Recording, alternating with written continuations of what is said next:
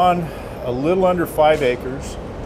It's the, it's the tightest footprint in California. Capacity wise, about 330 megawatts capacity here, which is what, 330,000 homes roughly that we can supply from this one site.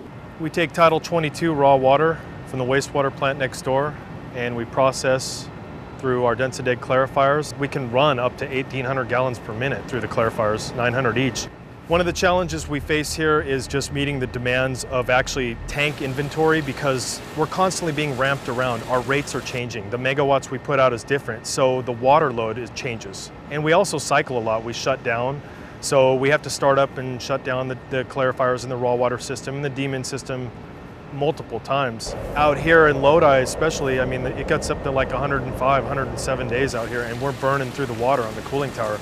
These things have to be reliable. If this plant had a, had a shutdown or some type of issue, especially during the summertime like that, this power plant, this entire place will shut down. We can't, we actually can't run it without it. The Suez products made our lives a whole lot easier. We had two startup technicians that came out, one for the raw water side, one for the pure water side.